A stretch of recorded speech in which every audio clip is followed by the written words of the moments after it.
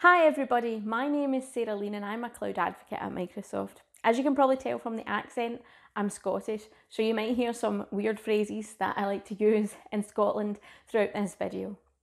In this Azure Advent calendar session, I'm going to be talking about Azure Migrate. Now, I'm entirely biased. This is my favourite product within our range, so I love talking to our customers about the functionality and sharing my knowledge about how the product can help them on their data centre migrations. So, some of this session will be about Azure Migrate, but it'll also be about data center migrations in general. That's what I've been talking to customers about for the last couple of years. So, I want to impart some of the tips and tricks that I've gathered along the way and share them with you today. So, let's dive into this session and get started. So, this session has been designed to get you thinking about what Azure Migrate can do, get you thinking about what's possible and how you can use that in your environment, and show you resources for where you can go in the future. So I've been speaking to customers for a number of years now about their data center migrations. They are thinking about moving to Azure or moving to the cloud because of a number of factors. And some of those factors are things like their data center has ran out of capacity. They physically either can't squish any more hardware into the actual data center or they've ran out, you know, they can't add any more servers because they've ran out of space. And they're at that point where they have to either invest quite a bit of money into traditional hardware, or tin as we call it here in Scotland, and add that into their data centre, or look at investing in the cloud instead. There's also other things like software end of support, and I'm sure as a lot of you are aware, Windows Server 2008 R2 goes end of support in January 2020, so there's not a lot of time to actually migrate and deal with some of that. And obviously, SQL Server 2008 went end of support in July as well this year. So there's those kind of catalysts, those kind of triggers that are making people think about moving to the cloud and moving about what they're going to do. And there's some questions that come with people thinking about the migration to the cloud. And they're common questions, if I'm honest. It's the same customers, it's the same questions that customers ask over and over again. So if you're sitting there thinking about a data center migration and you've got all these questions, please don't be frightened because other people have these questions as well. And some of these questions are where do I even start with a migration? How do I start this journey? How do I understand what I've got within my environment and and control it and then plan for that migration forward? Um, can I get some help? Is there a framework that will help me in doing this? And to be honest, we've got a lot of resources available at Microsoft to actually help you we kind of describe it as three things. So we break down that migration into process, product, and program. And our process part is something called the Microsoft Cloud Adoption Framework. Now, we shorten that down to CAF as we love our acronyms. And this is a best practice framework that has been developed by people like myself, Microsoft employees, our customers, and our partner network. And it's basically a load of documentation that can help you on your journey that shows you some of the steps you have to take and some of the advice that others have taken and given from their journey as well.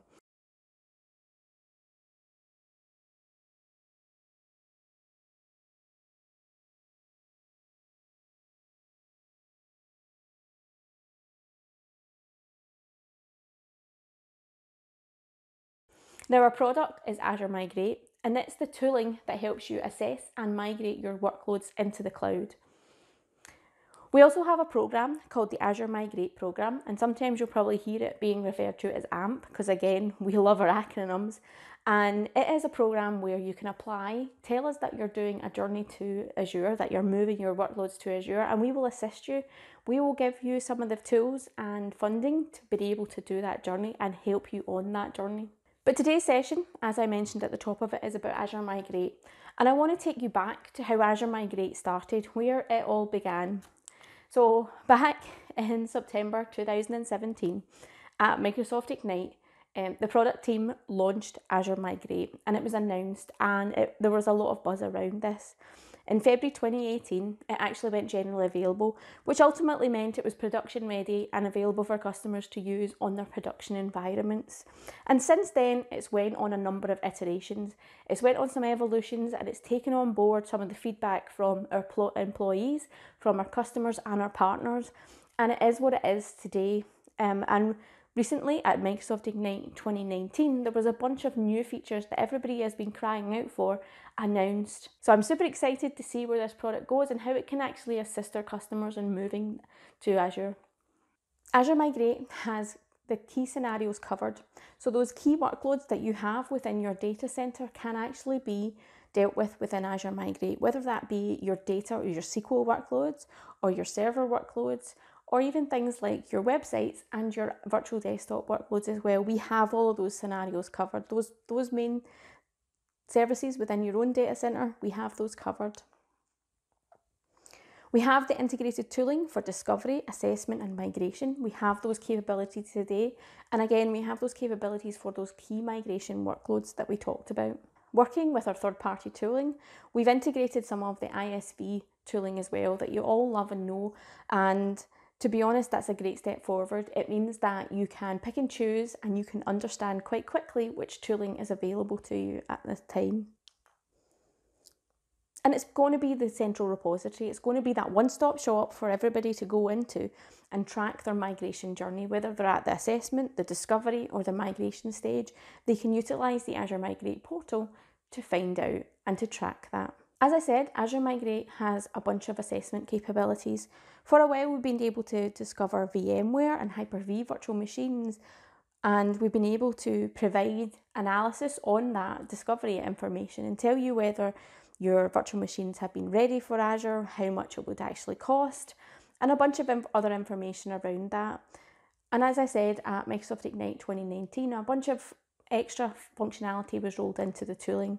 So we now have the ability to assess physical machines, which is a great step forward because, to be honest, we all still have those physical servers running in the corner of our data centers and we need them as well. But it doesn't just limit itself to physical servers. So if you're running servers in another public cloud, such as GCP or AWS, you can actually assess them with Azure Migrate as well now. And a functionality that I'm super excited about because I'm always getting asked about it when I'm out at customer sites is can I take this spreadsheet of information that I have about my infrastructure and get some costing analysis on it? And up until now, the answer's been well, if I spend some time, then maybe yes, I could get you something. But now we can actually take that spreadsheet, put it into Azure Migrate, and then in 10 15 minutes' time, we will have that actual information back from Azure Migrate. It now has the ability to import data via a spreadsheet and then output some assessment details as well. So I'm, I'm looking forward to being able to tell customers about this and utilise it. And lastly, but definitely not least, the assessment capability, other functionality that was added recently is agentless dependency mapping. And again, this is something that all of our customers have been asking for. It's key to what they're trying to do. And it helps customers understand how their, all their servers interlink with each other and discover each other and without having to install an agent on it. No longer do you have to sit there and either manually install it, which some customers I worked with had to do, or script it through group policy, a PowerShell script, or even SCCM as well. So we have a bunch of assessment capabilities built into the native tooling within Azure now. And you know what? On this slide, I don't have the best point about any of this. Our assessment tooling is free. Azure Migrate Server Assessment is entirely free to use. Now, I want to mention something here that I always mention to my customers. Doing an assessment is key. So many people think that they can skip this step because they know their infrastructure, and unfortunately, they always get tripped up. They always get tripped up by something that wasn't documented, by something that they thought was decommissioned, and their migration falls over, their migration hits a hurdle, and the business think it's bad because they haven't done a full assessment, they haven't understood how everything interconnected, they haven't understood their, their server estate enough to be able to do that migration and do that migration well. So if you're looking to do a migration to Azure, make sure you do an assessment. It's entirely critical to your success. And you know what? I use this analogy. If you were buying a new car, you would do some research about it, you would go and test drive it, you would read about it, um, you would touch it and feel it, right? Why wouldn't you do that if you were doing a migration to Azure and doing an assessment is no different. It's no different than taking that new car that you want to buy and taking a test drive. So assessment is key to your success. Now, the other functionality that we have within Azure Migrate is the ability to actually migrate those workloads into Azure as well through it. And we do that through Azure Migrate Server Migration. Now, we've been able to migrate a bunch of workloads before, and we've been able to do that quite successfully. And we have functionality like test before migrate. So you were able to actually test what would happen um, if you moved that workload into Azure. Would it respond correctly? Um, would the server operating system fire up correctly? Is there anything missing? Is there any components that you had installed on it that would interfere with Azure, making it not work? Um, so you were able to do that test plan, you were able to do that without being destructive to either your Azure environment or your on prem environment. That capability is still there today. But now we announced at Microsoft Ignite 2019 that you can actually do agentless VMware migrations and it's, it's generally available. It's available for production workloads now. And again, that's a super great uh, functionality that we have now.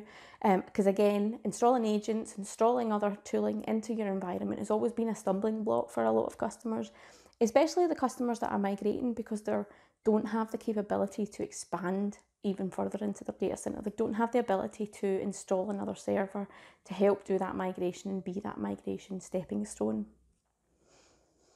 Now, something I want to cover, um, which again I get asked quite a bit, is about Azure Site Recovery or Azure Migrate. um, for a long time before Azure Migrate came along, our migration tooling that we suggested was using Azure Site Recovery or ASR, as you'll hear it mentioned. Azure Site Recovery is our disaster recovery tool. It's the tool that helps you build that redundancy into your applications, that helps you build that second data center in the cloud, so that if something happened to your first one, you would be able to get everything back running um, from your second one in the cloud. Now, it was never designed to be a migration tool, if we're all honest, but it was, it was able to do the migrations for us. Now that we have Azure Migrate server migration tooling, it's the dedicated tool for migrating your workloads. We recommend that now 100%. You can certainly use Azure Site Recovery if you want, but it's not the tooling that but it's not what the tooling is designed for anymore. Azure Migrate Server Migration should be the tool that you use to migrate your workloads, and Azure Site Recovery should be the tool you use to build in disaster recovery to your workloads. Wave planning is something that you should all be thinking about when you're doing your migrations and thinking about your migrations for going forward. And by wave planning, I mean think about how you're actually going to migrate your workloads. You're definitely not going to move, migrate all your workloads in one night and have it all there the next morning in, in Azure. That's not how it's going to work. So you need to do wave planning. So start with things like your easiest workload. So if you have, say, an intranet server that hosts your intranet, you know, that shows everybody what's on the canteen menu um, at lunchtime each day, look to migrate that first. Look to learn how that workload migrates. Look to learn if your the landing zone that you have set in Azure is correct and functional for what you expect it to do. Um, you pick your easiest workload as your first workload because if something goes wrong, you don't want the business to be screaming down your ear while you try and fix that. And yes, okay, your intranet is an important component of your organisation, but it's not the most mission critical. And I'm sure your businesses probably could get on without that intranet being there. But if you started with something like your payroll server as the first migration workload into Azure and something went wrong, people would definitely be screaming and you would be definitely under a lot of pressure to bring that back up. And you want your, your migration to be successful. So you want to pick an easy workload and start building up to the harder ones.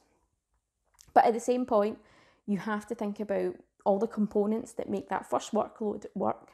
So you have to have things like Active Directory or ADFS or Active Directory Federated Services set up or Azure Active Directory. Something has to be set up so that you can still authenticate, you can still do the DNS queries. What does your DHCP look like? All of these questions have to be answered before you do a migration. And that's what I mean about wave planning. You have to think about the components, you have to understand what you're moving and what needs to be moved around about it.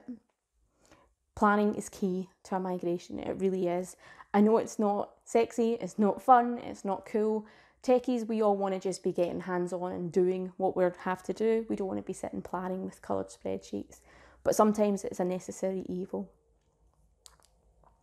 Now, five things that I always tell people to think about when they're doing a migration and to make their migration successful is think about your migration approach. Like I was talking about wave migrations, think about how you're going to migrate things and how you're going to do it. Are you going to be doing everything as infrastructure as a service? Are you going to do everything as a, plat- a platform as a service? Or are you going to start thinking about software as a service? Then break down what you're going to do there isn't a blanket answer for every workload within your organisation. Sometimes you're going to have to use IaaS solutions. Sometimes you're going to have to go down the SaaS solution way. There is not a one fit fits all answer, to be honest, to that question. The next one is migration tooling. Now I've covered about Azure Migrate today, and it's a great tool. I love it. It's a free tool, it's a native tool, it supports a lot of workloads, a lot of those key workloads everybody has in their own data center. But to be honest, there are other toolings and there are other and some of those third-party toolings that are now built into the Azure Migrate portal can be more beneficial than Azure Migrate to some of our customers. But you need to be key and you need to be very keen when you pick that tooling. Make sure you're picking the right tool for what you need and not which one you've seen the best marketing on. Take advantage of our offers, take advantage of things like the Azure Migrate program, take advantage of hybrid use benefit, take advantage of reserved instances. There's a whole bunch of offers that we usually have in place to help you do some of your migrations, so please leverage them at the right time and the right space within your workloads. Migration partners is also something to think about. We have a lot of um, third party companies that specialise in data centre migrations. That's the only thing that they do. It's the only service that they provide to their customers, and they do that time and time again. Every project they do is a migration. So, hopefully, if you pick an experienced one, they'll be able to take the learnings they've had from other migration projects and bring them into your migration project.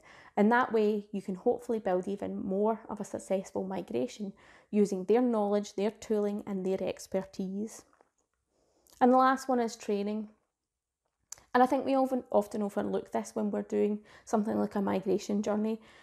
We think too much about the journey, we think too much about the tooling, we think too much about the way of planning, but we forget about the training. And it's key as well to success my successful migrations.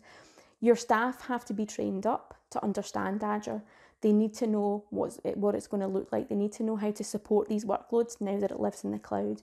They need to be confident that they know how to use that. So make sure your staff are being trained, and that is part of your migration plan. Now, I've given you a whirlwind tour of Azure Migrate and some of the migration steps that you have to go through if you're moving your on premise data center into Azure. Um, but I've written a blog post that covers off some of this in more detail, so please do head there and check that out. And please do reach out to me. Please do ask me some questions. You can get a hold of me um, on Twitter or through my blog or through our team blog. So please do reach out if you have any questions, and I'm happy to cover them either on a one to one basis or even do more videos or blog posts about it. Thank you so much for sitting with me through this session, and hopefully, you've learned a bit about Azure Migrate and data centre migrations in total. Thank you to Gregor and Richard for setting up the Azure Advent calendar, and I look forward to seeing other people's videos.